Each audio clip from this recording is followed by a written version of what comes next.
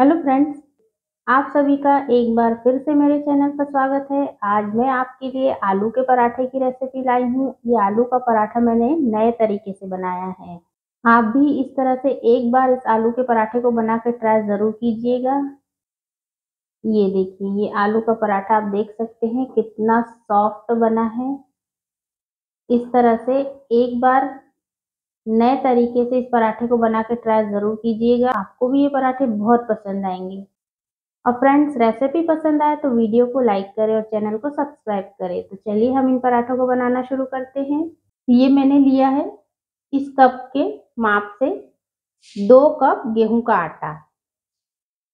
मैंने कप से मापा है। आपको जितना बनाना हो उस हिसाब से आप इस आटे को कटोरी से भी माप के ले सकते हैं। अब ये मैंने लिए हैं उबले हुए दो आलू। आलू को हम इस तरह के ग्रेटर से ग्रेट कर लेंगे। आपने आलू के पराठे कई बार बनाए होंगे, पर इस तरीके से एक बार आप आलू के पराठे को बना के ट्राई कीजिएगा। बहुत टेस्टी और सॉफ्ट बनते हैं, झटपट बन के तैयार हो जाते हैं। तो ये देखिए मैंने सारे आलू को पीस के ले दिया है।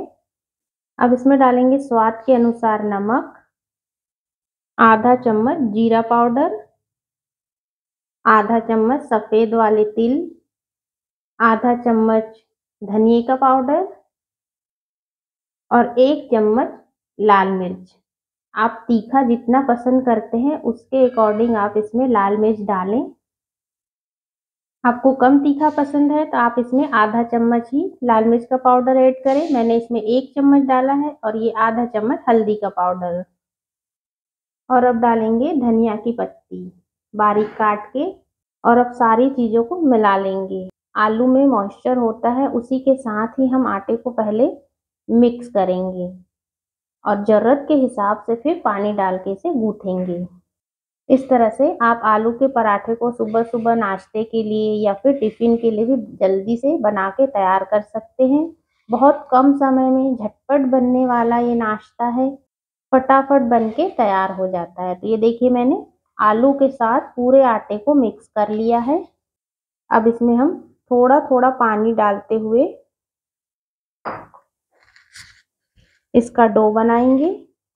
ये देखिए मैंने इसका, इस तरह से चपाती की तरह डो लगा लिया है। इसे बहुत ज़्यादा टाइट नहीं करना है और ना ही बहुत ज़्यादा सॉफ्ट। ये देखिए, बस इस तरह से हमें इसका डो तैयार करना है और अब इसे हम ढक के पंद्रह मिनट के लिए रेस्ट के लिए रख देते हैं।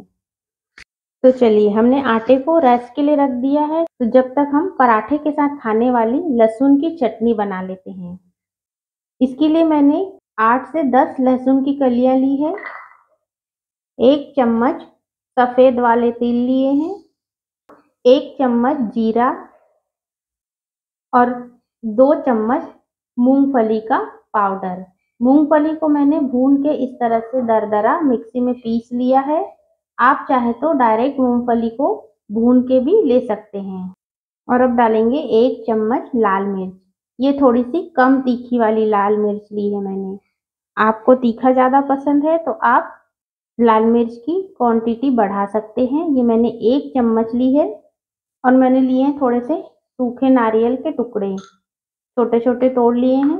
आपके पास सूखा नारियल नहीं है तो आप नारियल का पूरा भी डाल सकते हैं इसमें एक चम्मच और डालेंगे स्वाद के अनुसार नमक।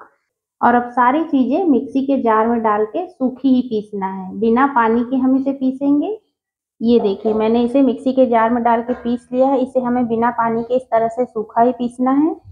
इस तरह से आप एक बार आलू के पराठे के साथ ये चटनी बना के ट्राई ज़रूर कीजिएगा। इस चटनी को आप कई दिनों तक स्टोर करके भी रख सकते हैं। इसे हमने बिना पानी के पीसा है। बहुत ही टेस्टी और स्वादिष्ट बनती है। तो चलिए, अब हमारी ये चटनी बन के तैयार है।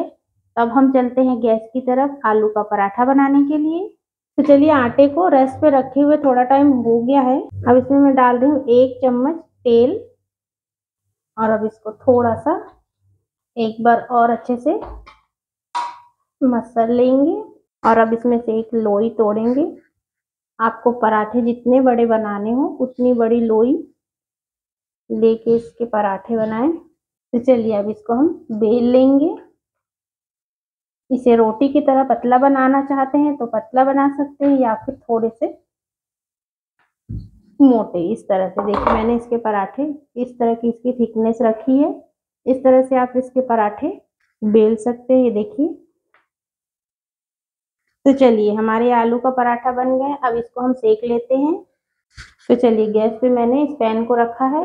इसमें डालेंगे पराठा और अब इसको दोनों तरफ़ से उलटते पलटते हुए तेल लगा के सेक लेंगे। इसमें आप तेल, घी, बटर अपनी चॉइस से जो लगाना चाहते हैं लगा सकते हैं। तो ये देखिए, पराठे को मैंने दोनों तरफ़ से उलट पलट के देखिए, सेक लिया है। तो ये हमारा आलू का पराठा बन के तैयार है। तो देख सकते हैं आप कितने झटपट, बहुत जल्दी बन गया हमारा ये आलू का पराठा।